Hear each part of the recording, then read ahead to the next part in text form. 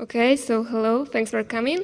Uh, my name is Alicja, and together with Greg and uh, Roman, uh, we'll walk you through the uh, subject of lockless upgrades. Okay, so uh, first of all, we'll explain the idea of upgrades with minimal downtime and specify some assumptions that have to be fulfilled while migrating uh, database schema online. Uh, then we'll present uh, some approaches that were adapted in different OpenStack projects. Uh, next, we'll move to the implemented proof of concept that was designed uh, to test table locks problems. And finally, we'll present some results of comparison of different database engines. So, we all know the reason for doing upgrades, and we all want to do them uh, without uh, without uh, violating SLO and while keeping our costs minimal in order to keep our users satisfied. So it would be the best if uh, upgrade will be possible with minimal or even zero downtime. Uh, so the goal is to perform so-called rolling upgrade. A rolling upgrade allows you to keep your existing distributed system working while uh, upgrading your components gradually. So in comparison to a standard procedure in which you, in which you have to stop all services, uh, upgrade them, uh, or even reinstall, and then start them back again, uh, a rolling upgrade allows you to uh, take only one service down for upgrade and uh, join back to the others.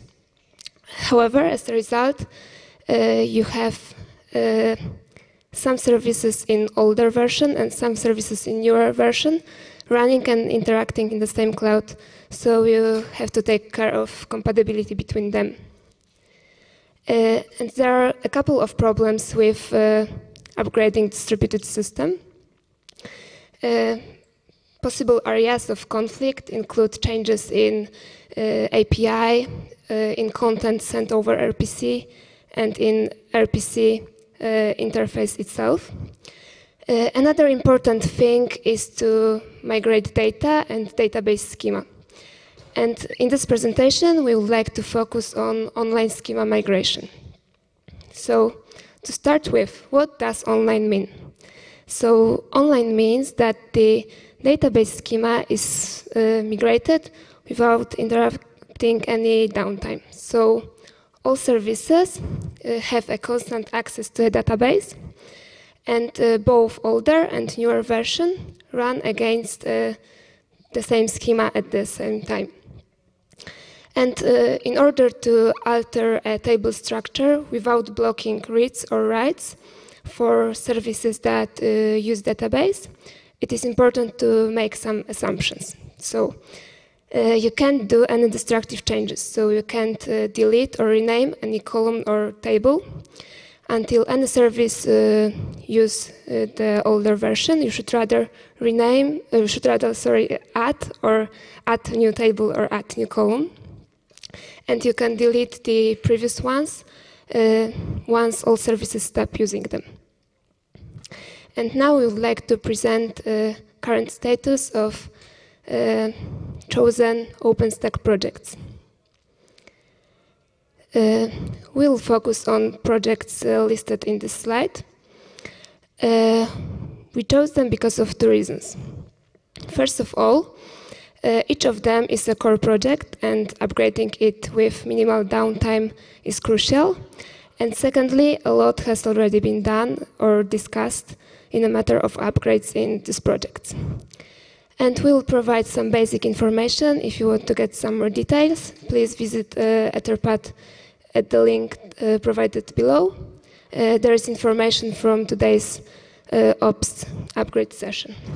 So generally, uh, Nova is at the most advanced stage of uh, upgrades. Cinder has not introduced migrations yet, but uh, a technical preview has already been discussed, and uh, it is a work in progress.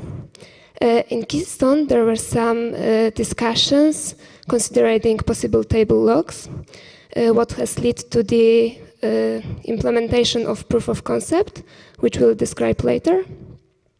Uh, in Neutron, there is an approach uh, known as expand contract approach, what means that we expand the database schema online before introducing new code, and then we do a contract offline and a server is, uh, is backward compatible with agents.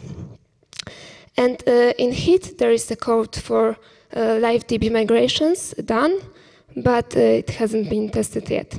And to give you a better overview of how it works in Nova, Cinder, and Keystone, we will briefly describe them in the next slides.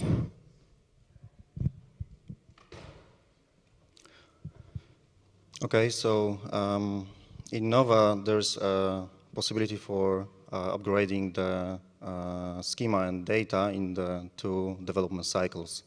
So this diagram represents how uh, it is done so that we have three simple steps. First of all, we have to uh, upgrade the schema to new version.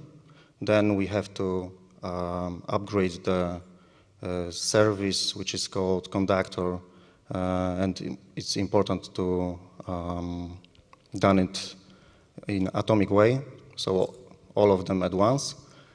And uh, then we can just run our cloud again.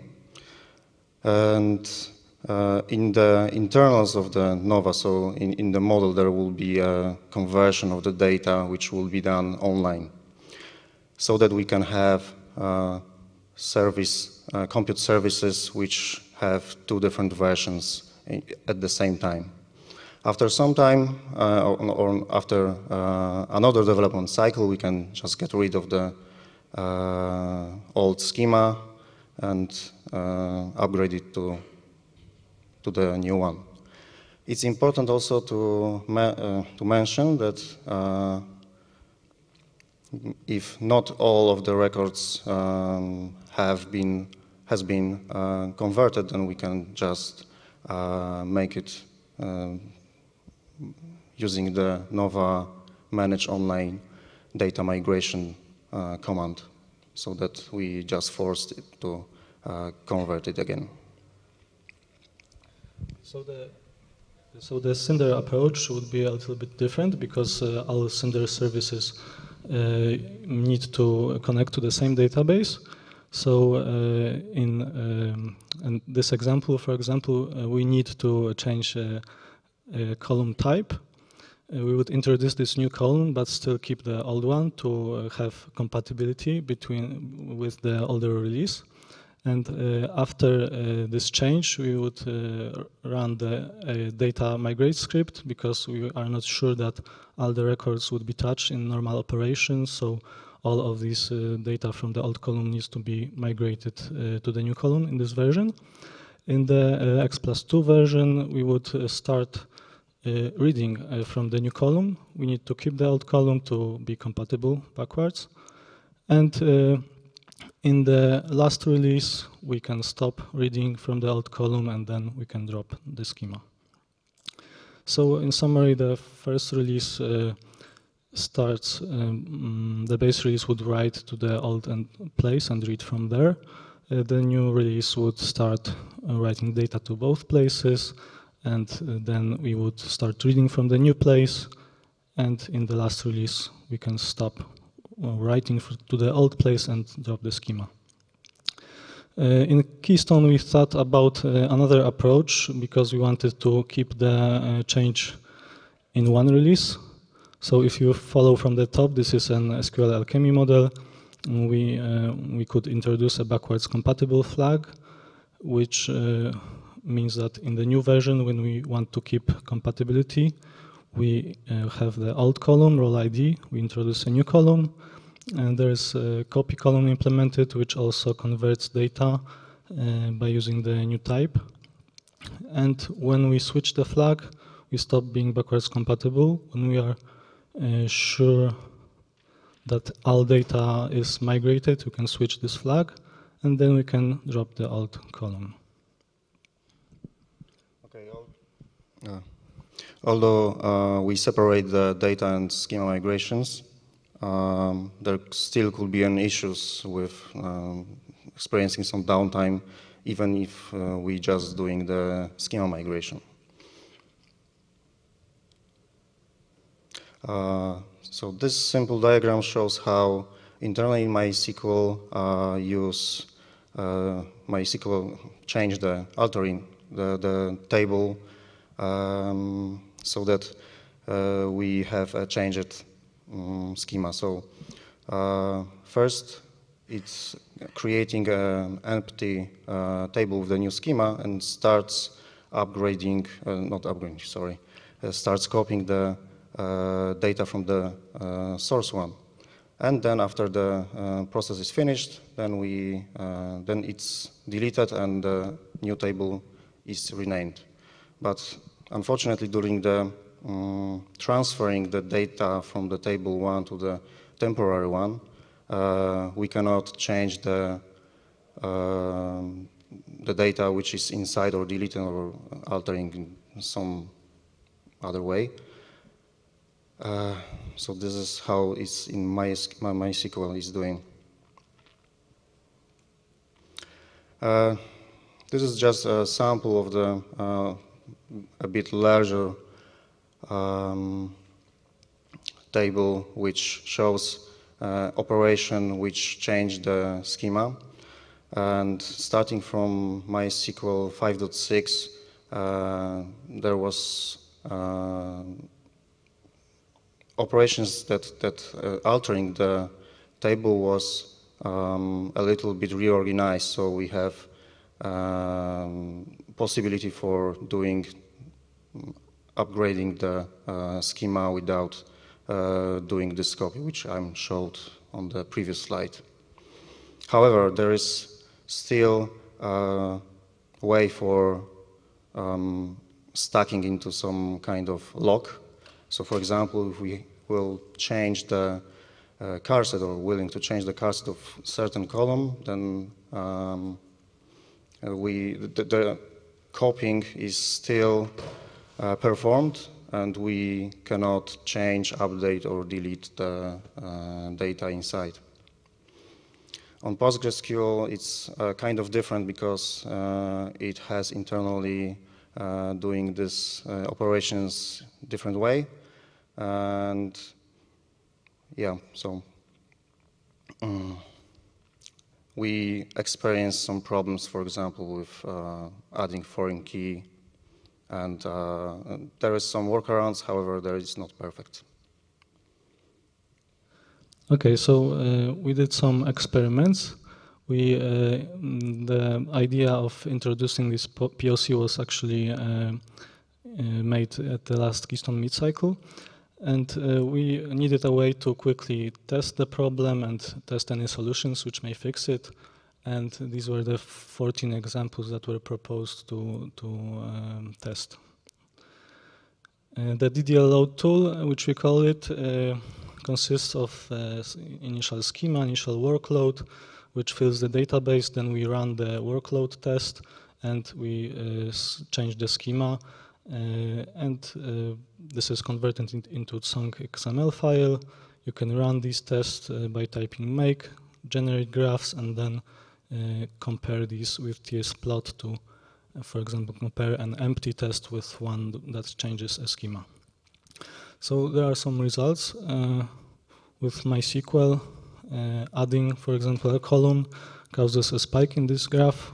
So First, we fill the da database with initial data, then we wait some time and start this test. And at 400, we change the schema.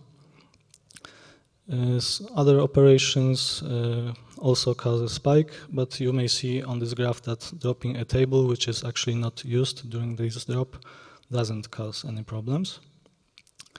In Postgres, we also tested uh, some operations. Uh, most of them uh, didn't cause any problems. For example, adding a column uh, causes only a minimal spike, and dropping uh, uh or uh, changing uh, the foreign key or adding a foreign key enlongers the duration time.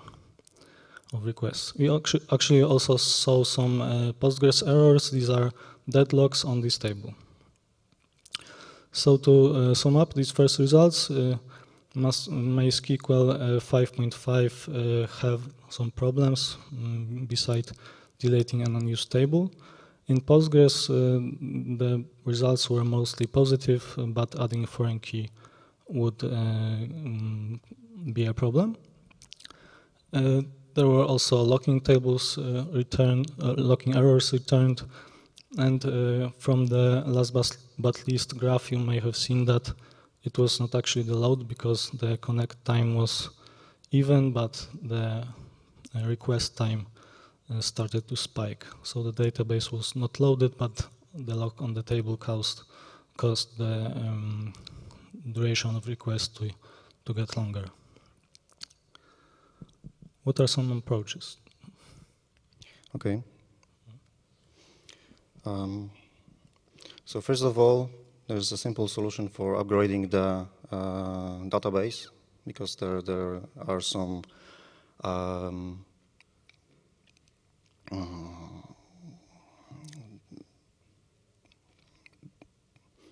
okay. Sorry. Because there there are some uh, uh, upgrades within the engine itself so we can just try it, it first. Uh, secondly there is something called like um, triggers based online schema change. So the uh, idea is the very same how MySQL is doing it internally. However introducing uh, triggers which are connected with the field or the um, column which we have changed uh, doesn't block our uh, writes or any other altering uh, and it sends it directly to the uh, copy table. And we don't have to do this by by hand. We can just uh, use some of the existing tools. First one is uh, Percona PT Online Schema Change, and second is uh, Online Schema Change from Facebook. And there is a suite of tools which is called openark kit, which is written in Python. Uh, unfortunately, those mm, two uh, last ones aren't um, aren't developed anymore. So it's like for, from four years, something like this. And the Percona is uh, still under heavily uh, development.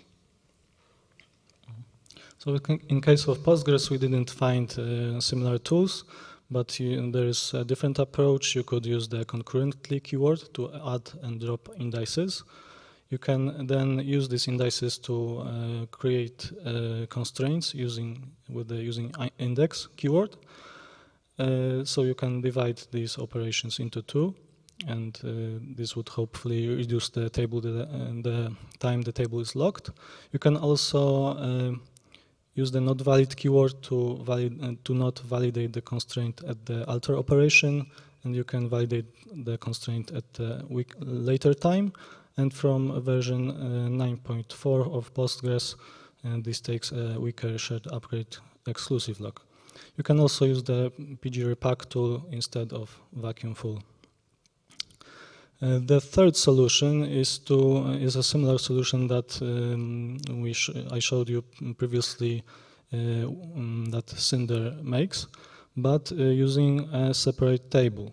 So to avoid the table lock, you would first start writing the data to the new table, you would migrate all of the data to the new table, and after you stop using the old table, you can remove it. Some more results after we, we uh, the changes that we stated were introduced. So when you, we upgraded the MySQL database to 5.7, the um, schema altering operations which caused a spike of mean mm, request duration, we saw an improvement. In case of uh, other operations, in this example, we uh, we uh, the change primary key still caused a differentiation in request duration. Uh, we also tried uh, a blocking operation of changing the char set. Uh, upgrading the database uh, caused an improvement, but, um, and using the PT online schema change actually alleviated the problem in our tests. In case of Postgres, uh, uh, upgrading the database caused an improvement in performance, but you can see there's still a spike when adding a foreign key and uh, other operations uh, still behave like previously. We also tried uh, splitting this mm, operation into two with not valid and validate, which also caused an improvement, but upgrading the database, did, when upgrading the database, we didn't see much change. So what are the key takeaways? You should uh, definitely upgrade your database if you're running MySQL 5.5. You can also try PT Online Schema Change. And in case of Postgres, you should divide your queries and use the concurrently alter with index, not valid validate constraint keywords. In case of Postgres, you could also use transaction transactional DDL, so you can revert uh, long-run queries. So uh, when you introduce a change that starts to uh, block your service, you can revert it and then try it at a later time when, when your service is not loaded. You can also try the DDL load test to um, test your own approach. You can drop in your schema from your database. You can then record some of your session with uh, some proxy to um, have the workload um, be as much similar to your real workload and run these tests. And you can graph and analyze uh, the reports and see if there are any errors. So thank you, this is it. Uh, do you have any questions?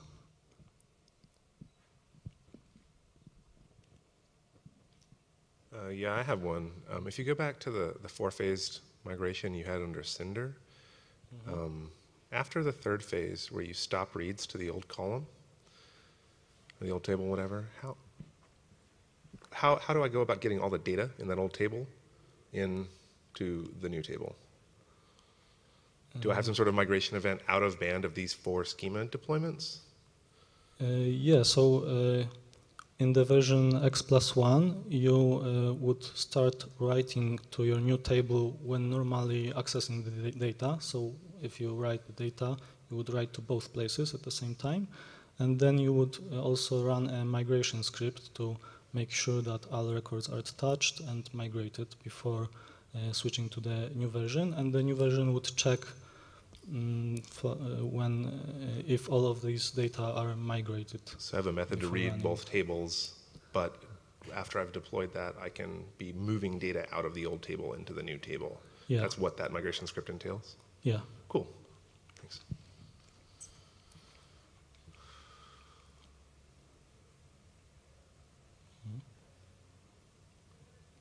Okay, so we'll finish up by uh, maybe uh, inviting you to the event that's uh, tomorrow, on which also uh, there was there will be a panel of experts to discuss upgrading OpenStack. Thank you.